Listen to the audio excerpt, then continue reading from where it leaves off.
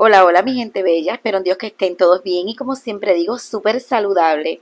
Bueno, la receta debe ser una recetita súper facilita.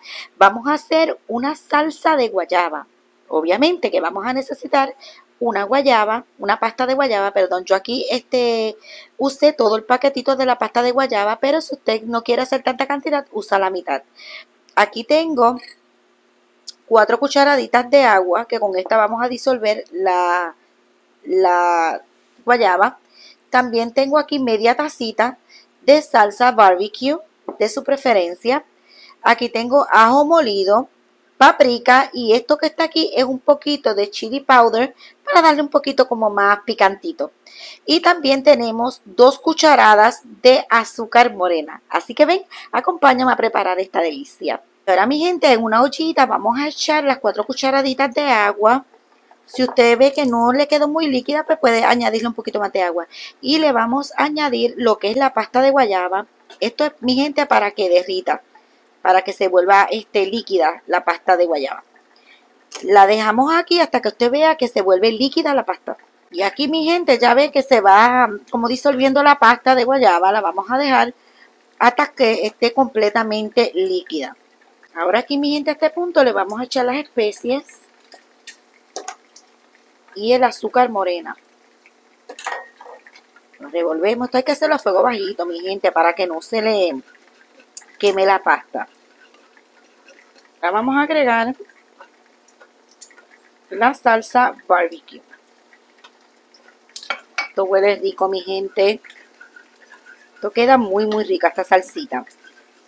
Y ya aquí, mi gente, mira qué bella está la salsa. Si la quiere un poquito más, que no sea tan espesa, le puedes añadir. Quiero comentar que le añadí primero cuatro cucharaditas, pero volví y le añadí dos cucharaditas más de agua porque me quedó un poquito espesa. Y me gusta así, ¿ok? Y ahora mi gente, vamos a darle sabor a estas alitas. Lo que hice fue que las adobé con un poquito de sal, ajo en polvo y sazón. Y las eché a freír. Y ahora mi gente, vamos a darle, mira, un toquecito con la salsita mi gente, qué rica se ve esta salsa. Si usted quiere, puede poner las alitas un poquito al horno para que así la salsa este, adquiera un poquito más de sabor y se junte más con, la, con las alitas. O simplemente, mi gente, la saboreamos de esta manera.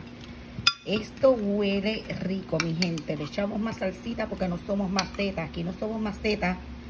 Aquí queremos, mira, sabor. Mi gente, déjeme saber con qué acompañaré a ustedes estas ricas y deliciosas alitas en salsa de guayaba. Mi gente, y mira con qué yo la voy a acompañar, con esta deliciosa ensaladita. Si esta ensaladita le gustó y quiere que yo haga un video acerca de la ensalada con un poquito, mi gente, de vinagre balsámico por encima, solamente me lo deja saber en los comentarios. Y este, mi gente, mira, es el resultado final. Mira que salsa más rica. Estuvo rapidita, una receta fácil. Espero que la hagan conmigo, mi gente. Y no te olvides entrar a mi página, darle like y compartir mis recetas. Y como siempre digo, mi gente bella, que tengan todos una dulce, dulce vida.